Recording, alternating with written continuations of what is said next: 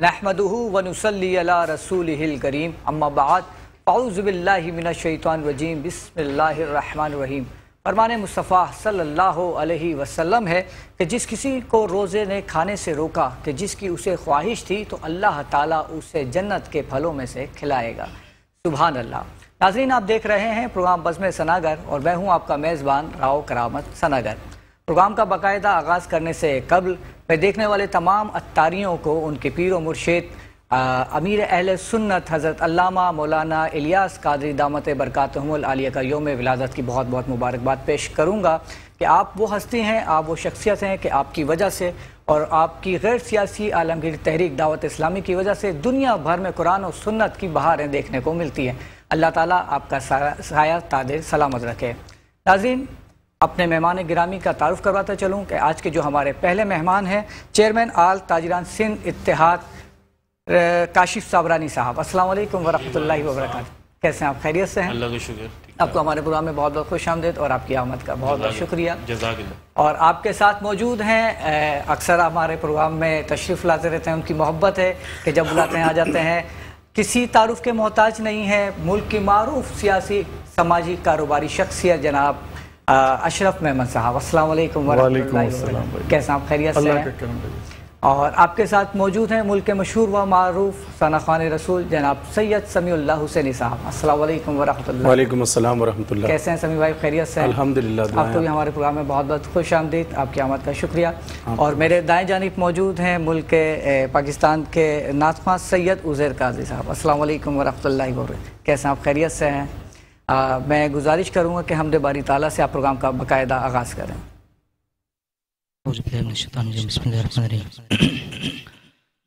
पढ़िए लाह इल्लल्लाह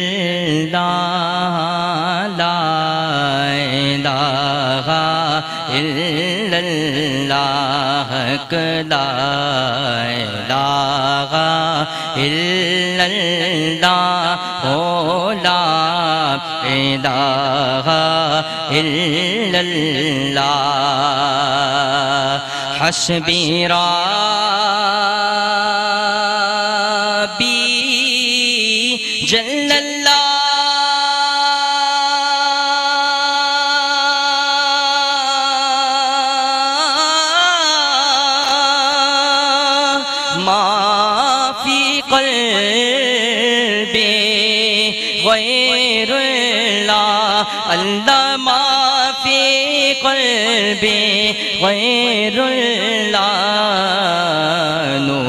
मोहम्मद सल्लल्लाह पढ़िए ला इलाहा इल्लल्लाह।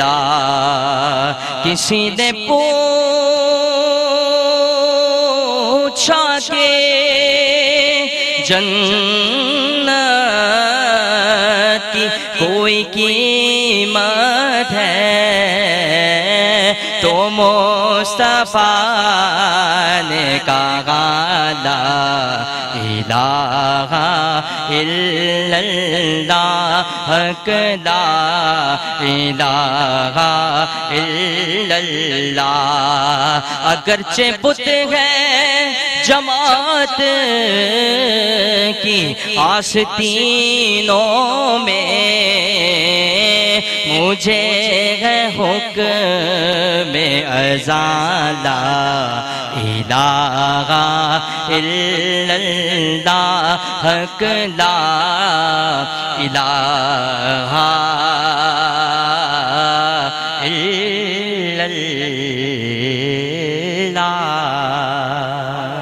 अल्लाह क्या बात है, माशाल्लाह। अल्लाह ताला आपकी आवाज़ में मज़ीद बरकत अता फरमाए। काशिफ साबरानी साहब, आपकी जानिब आऊँगा। देखने में आया है कि कराची शहर में स्ट्रीट क्राइम्स की तादाद बहुत ज़्यादा बढ़ गई है, जिसके पीछे एक सबसे बड़ी वजह बेरोज़गारी और गुर्बत भी है। तो आप इस हवाले से क्या कहना चाहेंगे? जी बिस्मिल्लाहिर्रहमानिर्रहीम सबसे पहले आपका और आपकी पूरी टीम का शुक्रिया अदा करता हूँ कि आप लोग ने मदू किया, हमें याद किया। देखिए, क्राइम जो है वो बेरोज़गारी की मेन वजह है कि ज़ाहिर बात है, जब रोज़गार नहीं होगा तो उसी तरफ़ ही इंसान माइल होता है। डकैतियों में हद से ज़्यादा इजाफा हो गया, बल्कि हमारी मार्केट जो साउथ का इलाका है, उसमें रोज़ की तकरीबन चालीस से पचास बाइकें जो पार्किंग में खड़ी होती हैं वो वहाँ से चोरी कर लेती जी। और बाकी स्नैचिंग पे अलग जा रही हैं पर्स अलग लूटे जा रहे हैं। इससे रमज़ान से पहले शाबान में चीज़ें ज़्यादा बढ़ जाती हैं। शाबान और रमज़ान तो मेन सीज़न कहलाता है इनका। जी तो बिल्कुल उस पर हमने पुलिस से भी रब्ता किया। माशाल्लाह से मुश्ताक मेहर साहब उनको मैं खराज तहसीन पेश करता हूँ। फौरी एक्शन लिया। एसएसपी साहब को हमारे मार्केट और दीगर जो मार्केट्स जिसमें प्रॉब्लम थे वहाँ विज़िट के लिए भेजा और वहाँ पे बंदे तैनात किए। तो उसमें ये कि थोड़ा सा कमी वाक़ हुई है। तो मैं मतलब ये समझता हूँ कि देखें बिज़नेस भी जो है इस दफ़ा वो नहीं हो सका जो होना चाहिए था। हालाँकि दो साल के बाद ये हमें कोविड के बाद ये साल मतलब ये महीना हमें नसीब हुआ लेकिन फिर भी वो रिस्पॉन्स नहीं जो होना चाहिए था। और देखिए जॉबें तो है ही नहीं। जॉबें जॉबलेस इतने लोग घूम रहे हैं मेरे पास सीवी इतनी है कि मतलब मुझे शर्मिंदगी होती है मैं इनको कैसे मना करूँ? जॉब के लिए मैंने भी आगे कोशिशें की कहीं ऐसा होता है कि हम करवा भी देते हैं। लेकिन इतनी हमारे पास सीवी है कि हम नहीं करवा सकते। बिल्कुल। तो जॉबलेस जब ज़ाहिर बात है लोग होंगे खर्चे हम पहले कहते थे वही हैं अब वही इससे डबल खर्चे हैं। जो हम इनकम जो हमारी सैलरी होती है मिसाल पच्चीस हज़ार तीस हज़ार यही होती नॉर्मल सैलरी खर्चा से ज़्यादा है। तो इंसान कैसे पूरा करेगा? अपने किचन देखेगा बच्चों को देखेगा स्कूल देखेगा किस तरह वो सर्वाइव करेगा? बिल्कुल आपने वजह फरमाया। अशरफ अहमद साहब आपकी जाने पाऊँगा। क्या कहना चाहेंगे इस हवाले से आप? बात तो सारी आपने बयान की है। बेसिक बातें तो यही सारी हैं। कि जो बेरोज़गारी की वजह जो है, लोगों को सर्विस ना मिलना, नौकरियाँ ना मिलना। अब जो हमारे यहाँ जो सबसे बड़ा जो मसला आता है ना, हमारे सियासी जो हालात हैं ना, वो इफ़ेक्ट करते हैं बिज़नेस पे। अच्छा फिर ये सबसे ज़्यादा जो खिदमत करने वाले हमारे सियासी लीडरान हैं, ये इनकी रिस्पॉन्सिबिलिटी है कि ऐसा माहौल लाएँ कि जिसमें ये लोगों को रोज़गार मैसर हो। कारोबारी हजरात अपनी इंडस्ट्रीज़ को आगे बढ़ाएँ एक्सपेंड करें। और कारोबार और मज़ीद बेहतर उसी सूरत में हो सकता है कि ये जो इनके पॉलिटिकल जो झगड़े हैं, ये कम से कम हो। तो माशी मामला ज़्यादा बेहतर हो सकते हैं। बेसिक सबसे बड़ी वजह यही है, जिस मुल्क के अंदर आपके सियासी हालात अच्छे होंगे तो वो माशी तौर पर मज़बूत से मज़बूत होता जाएगा। अच्छा हमारे यहाँ जो पॉलिटिकल जितने भी मामला हैं, मसलिहत के सारे शिकार हो जाते हैं। जमातें आने से पहले तो बड़े बुलंद बांग दावे होते हैं मामला करते हैं। अब क्रिटिसाइज किसी एक जनरल पार्टी के लिए तो नहीं हम कर सकते। सारे इसके रिस्पॉन्सिबल हैं, जितने भी इसके जिम्मेदारान हैं। अब इसका खमियाजा कौन भुगतता है? पब्लिक भुगतती है, आवाम भुगतती है। और उसका सबसे बड़ा देखें यह है कि इतनी गुर्बत, जैसे भाई ने कहा, ये गुर्बत जो है, ये बिल्कुल आपको निचली सतह पे लिया है। ये सफ़ेद पोश आदमी अब मांगने के लिए निकल आया है। आप और हम प्रैक्टिकली देख रहे हैं जिस तरह के हालात हैं। और ये जो लूट मार है, सच बात है, देखें, नौजवान लड़का है, उसकी बेचारे ने ग्रेजुएशन की हुई है, उसको नौकरी नहीं मिली। किलर की नौकरी नहीं मिल रही, वो बेचारा पंद्रह हज़ार की नौकरी के लिए मारा मारा फिर रहा है। तो बड़ा दुख और बड़ा अफसोस होता है कि हमारे यहाँ जो है, माशी तौर पर ये बहुत बड़ा अलमिया है कि इतनी सारी बेरोज़गारी और इतनी महँगाई तो ये हालात दिन ब दिन और ख़राब होते जाएँगे। वो उसका हाल ये नहीं है कि पुलिस जो है पकड़ के ले जाएगी, उनके लिए इंसान दोस्त माहौल बनाना पड़ेगा। उसमें कारोबारी हजरात हैं, सियासी लोग हैं, बैठ के वो मामला करें जिसमें रोज़गार का ज़रिया बढ़े। ताकि लोग ज़्यादा से ज़्यादा नौकरियाँ मिलेंगी। इंडस्ट्रीज़ देखें बंद हो रही हैं। बिल्कुल क्या हो रहा था कि पहले एक्सपेंड होता था कुछ आठ साल दस साल पहले बढ़ती थी इंडस्ट्रीज़ बढ़ती थी।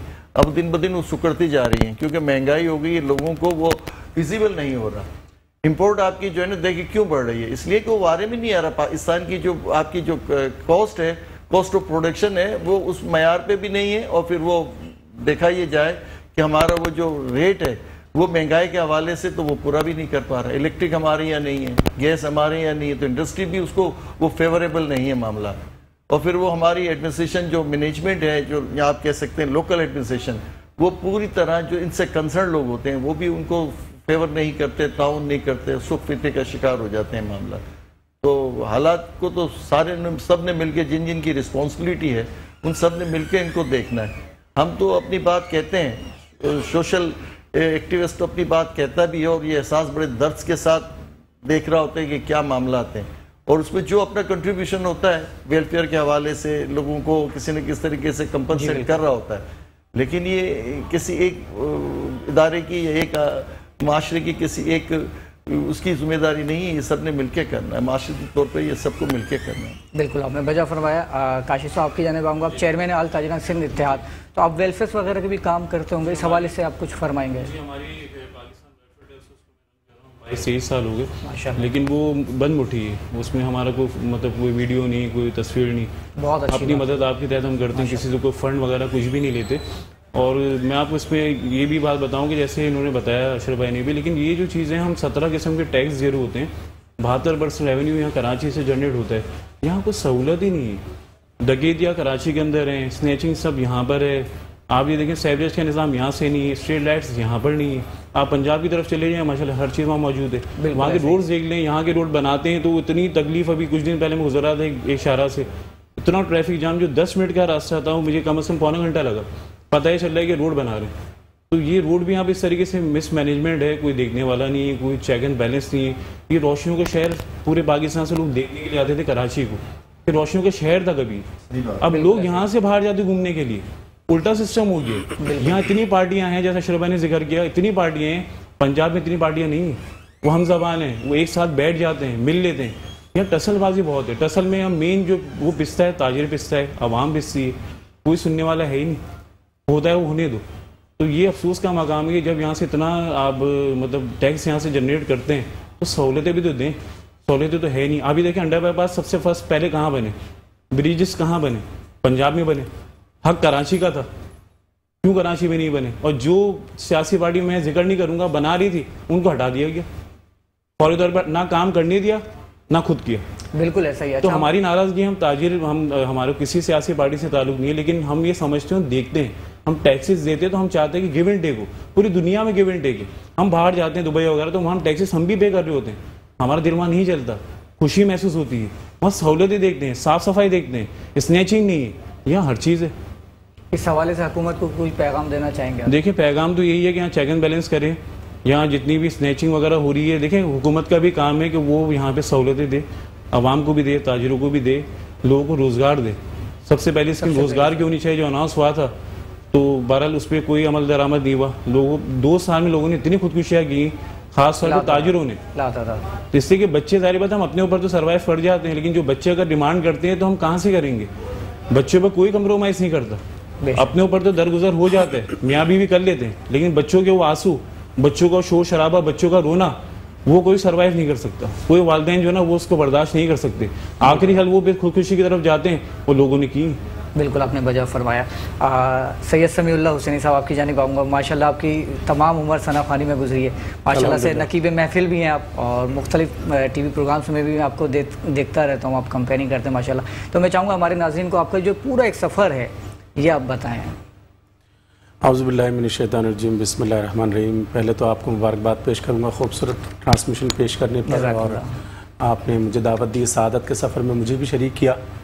मैं बचपन ही से आकल सलाम का ज़िक्र कर रहे हैं स्कूल के ज़माने से फिर स्कूल से बढ़ते बढ़ते आगे जब कदम रखा तो मैं शोबा निज़ामत में मैंने कोशिश की कि मैं यहाँ पर अपनी तबाह आजमाई करूँ। तो अल्लाह ने उसमें मुझे कामयाबी दी और फिर उसके साथ साथ दोनों में करता रहा। निज़ामत भी करता रहा नात भी पढ़ता रहा शेर भर में फिर मकबूलियत हासिल हुई फिर पूरे मुल्क में जाकर हुजूर के सनाखानी की फिर ऐसा वक्त भी आया कि पाकिस्तान से बाहर जाकर भी आकल सलाम की सनाखानी की। और ये सफ़र जारी है। अल्लाह से यही दुआ है कि तादम आखिर पर वर्दिगार आलम हुजूरी में रखे। चाहे हम तरन्नुम में हुजूर का ज़िक्र करें या तात में करें बस हुजूरी में रहें। आमीन अल्लाह आमीन। और सच बात तो ये कि आप जैसे लोगों को देख देख के हम लोग सीख रहे हैं। तो मैं शाह साहब से गुजारिश करूँगा कि सरकार सल्लल्लाहु अलैहि वसल्लम की बारगाह में अकीदतों के फूल निछावर फरमाएँ। देता से देरा। हुजूर जानते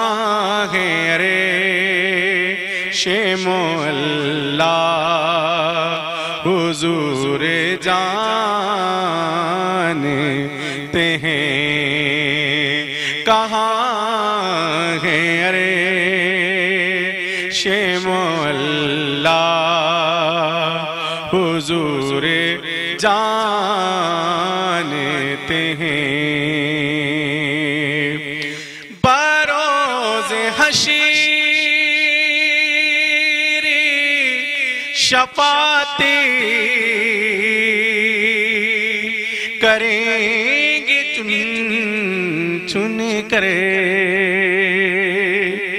बारोज हसी शपाती करेंगे चुन चुन करें।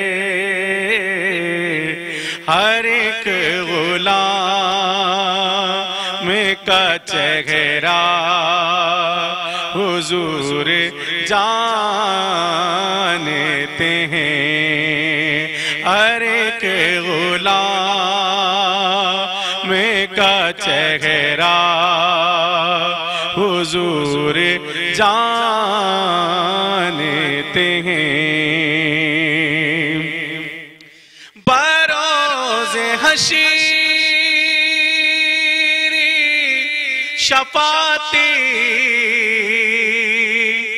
करेंगे वो लेकिन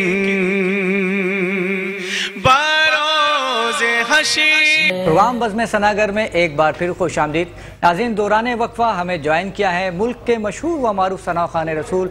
मेरे भाई मेरे दोस्त बहुत बहुत मोहब्बत करने वाली शख्सियत जनाब रिजवान गुम्बन साहब। अस्सलाम वालेकुम व रहमतुल्लाहि व बरकातहू कैसे रिजवान से हैं? मैं ठीक हूँ आप आपको हमारे प्रोग्राम में खुश आमदीद? जी बहुत शुक्रिया। मैं आपसे गुजारिश करूँगा कि सरकार सल्लल्लाहु अलैहि वसल्लम की बारगाह में अकीदतों के फूल निछावर फरमाएँ। तमाम देखने वालों को और मोज़्ज़ हाजरीन को मैं गुजारिश करूँगा मिलकर मोहब्बत से दुरुद पाक में तमाम भाई शामिल रहें। सल्लल्लाहु अलैहि का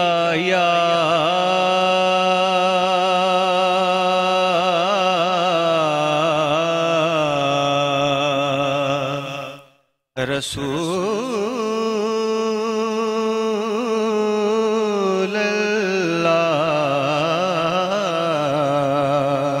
वसल्लम अलैका या हबीब अल्लाह जनाब मुजफ्फर वारसी साहब का लिखा हुआ एक बहुत खूबसूरत कलाम पेश कर रहा हूँ। जहाँ भी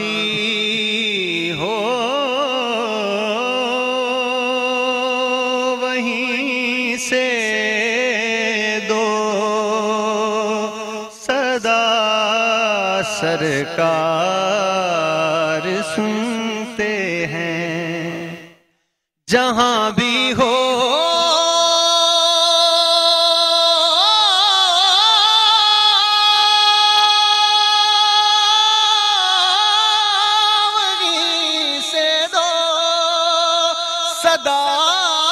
सरकार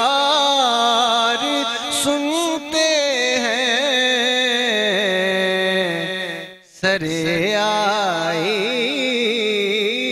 न सुनते हैं, पसे दीवार सुनते हैं।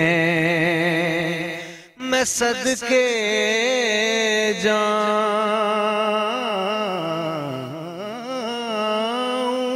की रहमतुल्लिल आलमीन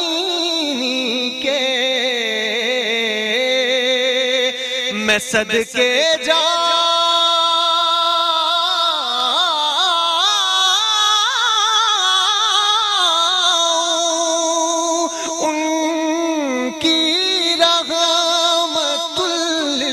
आलमीन के पुकारो चाहे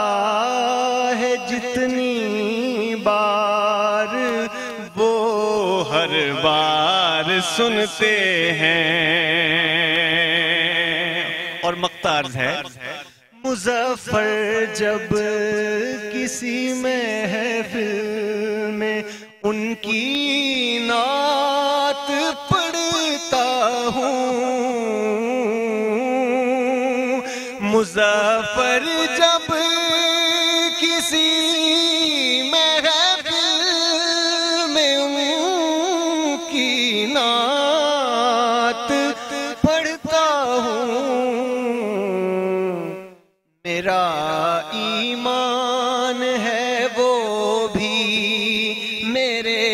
अशार सुनते हैं, सरकार सुनते हैं, सरकार सुन।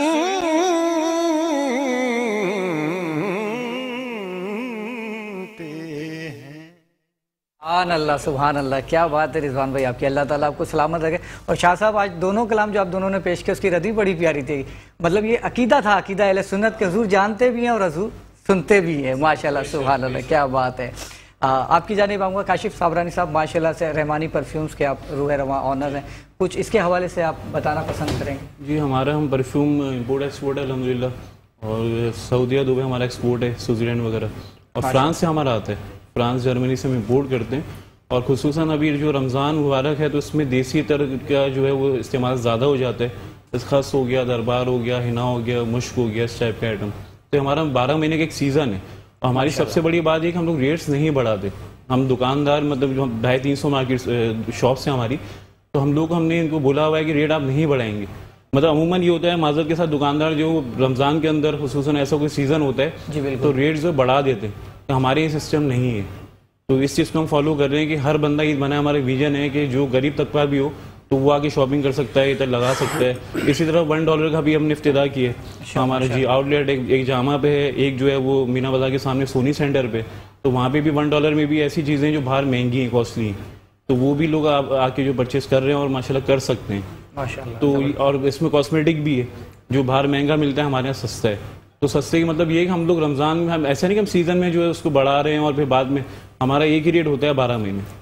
तो हर बंदा से जो है फ़ायदा उठा सकते हैं। प्राइस भी आपने रिजनेबल रखे बिल्कुल कम रखे हुए मिडिल क्लास का जो तबका वो भी ले जी ले सके। आप उसको बासानी उसको मतलब ये कि शॉपिंग कर सकते हैं। अच्छा ये नेट पे भी दस्तियाब ऑनलाइन भी कोई परचेज जी ऑनलाइन भी हमारा है। हमारा mart S K M mart Jama पे वो भी ऑनलाइन है। और लेविश के नाम से हमारा जो है यहाँ पे हमने खोला है मीना बाज़ार के सामने सोनी सेंटर में। कॉस्मेटिक है और लेविश वन डॉलर ये ऑनलाइन भी है और वैसे भी कस्टमर वहाँ पे माशाल्लाह फ्लो है लोगों का। इसलिए रेट कम है और चीज़ अच्छी है मुनासिब है। तो हम ये चाहते हैं कि लोग ज़्यादा से ज़्यादा लेकिन लोगों की मदद ही है। एक हेल्प भी है कि कमाना तो बारह महीने होता है लेकिन ऐसे सीज़न में ऐसे उसमें जो है ज़ाहिर बात बच्चे विज़िट करते हैं तो उनके मतलब टॉयज़ भी हैं ऐसे बहुत से आइटम खातन की भी हैं सूट्स भी हैं गारमेंट्स भी है। तो हर बंदा वहाँ पे ये कि फ़ायदा हासिल कर रहे हैं। माशाल्लाह हमारी दुआएँ आपके साथ है कि अल्लाह ताला आपके कारोबार में मजीद बरकतें आमीन आमीन। अशरफ अहमद साहब आपकी जानी पाऊँगा। अक्सर मुझे मैसेजेस आते हैं कि समाजी जो आपकी एक्टिविटीज़ है उस हवाले से तो सवाल होते हैं आपसे लेकिन कारोबारी हवाले से कोई गुफ्तु नहीं होती। है तो मैं चाहूँगा हमारे नाजरन को आप अपनी कारोबारी जो एक्टिविटीज़ है उसके हवाले से भी कुछ बताएँ। अलहमदिल्ला मेरा कंस्ट्रक्शन का काम है और मैं दो बिल्डर लाइसेंस रखता हूँ। माशा और आबाद का मेंबर हूँ मैं। माशा और कराची में तकरीबन 22-23 साल हो गए कंस्ट्रक्शन के हवाले से। और मेरे एक बेटा है माशाल्लाह वो खालिद बिन वलीद रोड पे गाड़ियों का काम करता है। माशा तो कारोबारी लिहाज से भी सारे सिलसिले हैं। फिर अलहमदिल्ला एक स्कूल रन कर रहा हूँ एक छोटा मोटा हॉस्पिटल है उसको रन कर रहा हूँ। माशा तो ये तो सारी ज़िंदगी के मामला हैं चलते रहते हैं।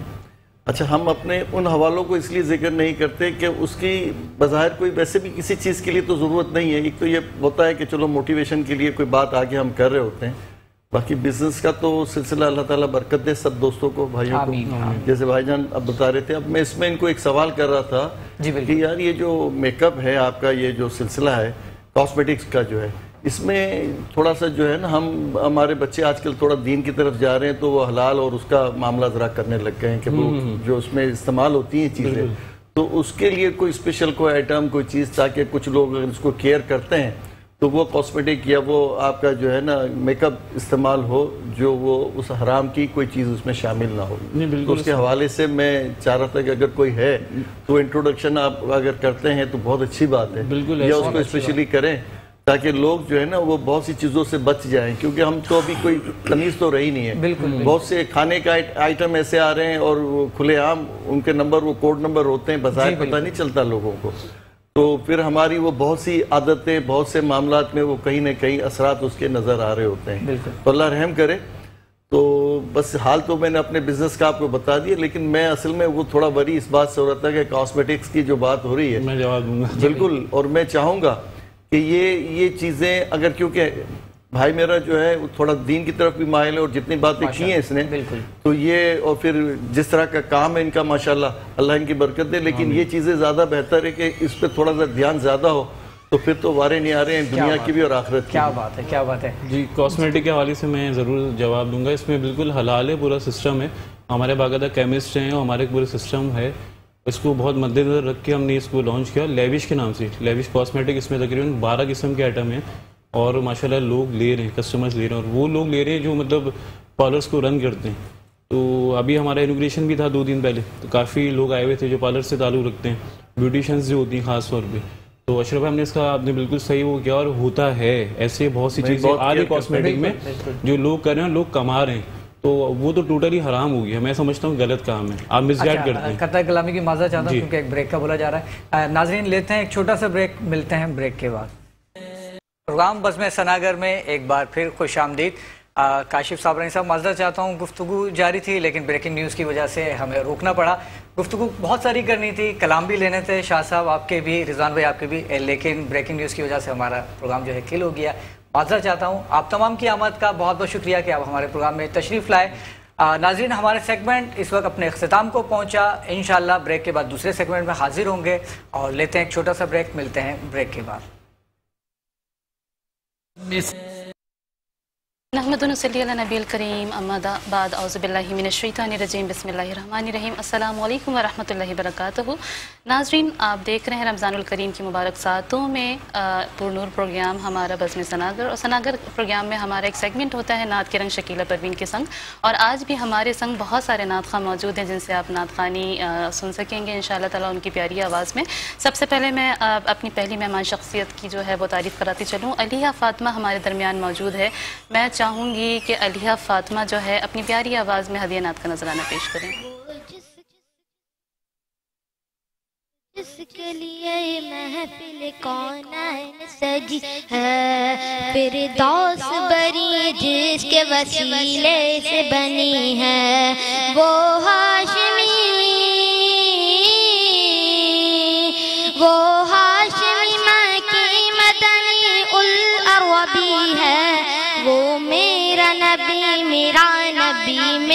मेरा नबी है। वो मेरा नबी मेरा नबी मेरा नबी है। अहमद है, मोहम्मद है, वही खत्म रसुल है। मखदूम मुवाबी है, वही वाली कुल है। उस पर ही नज़र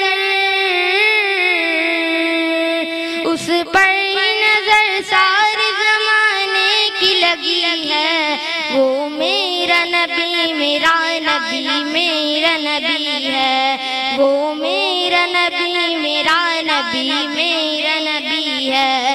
वह शम्स दुहा चेहरा अनवर की झलक है। वल्लैल सजा गैसुए हज़रत की लचक है। आलम आलम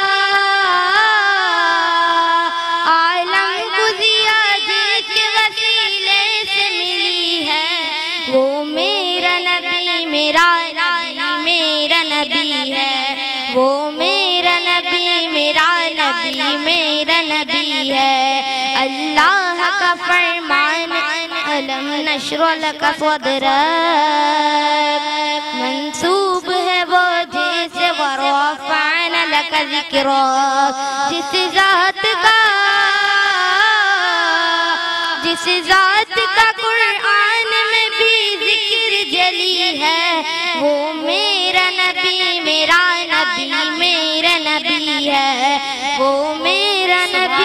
नबी अल्लाह ये थी अलिया फातमा। अपनी प्यारी आवाज़ में नात पेश कर रही थी। माशाल्लाह, बहुत अच्छा पढ़ा आपने। अल्लाह ताला आपकी आवाज़ में सोजता फरमाए।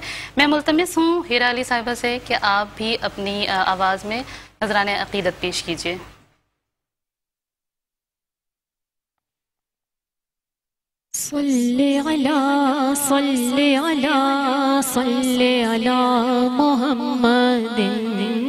सल्ले अला सल्ले अला सल्ले अला मोहम्मद सल्ले अला सल्ले अला सल्ले अला मोहम्मद भर दो झोली, भर दो झोली मेरी या मोहम्मद। लौट कर मैं न जाऊँगी खाली। भर दो झोली मेरी या मोहम्मद।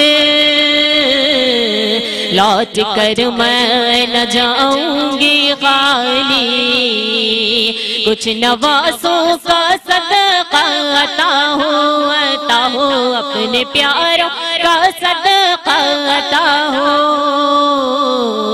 दर पे आई हूँ बन गई सवाली। तुम्हारे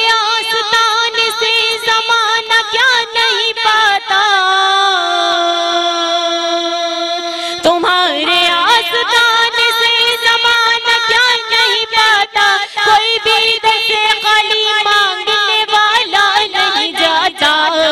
भर मेरी या मोहम्मद। लौट कर मैं न खाली तुम जमाने के मुख्तार हो या नबी। बेकसों के मददगार हो या नबी। सबकी सुनते सुनते हो अपने हो या गैर हो। तुम गरीबों के गम खार हो। या नबी भरी दो झोली मेरी या मोहम्मद। लौट कर मैं न जाऊँगी खाली। सुभान सुभान अल्लाह सुभान अल्लाह माशाल्लाह माशाल्लाह माशाल्लाह। बिल्कुल रमज़ान करीम के मौके हैं और यकीनन लौट कर हम नहीं जाएँगे। खाली अल्लाह तबारक व तआला हम सब की ख्वाहिशात को रब की बारगाह में कबूल व मंजूर अता फरमाए।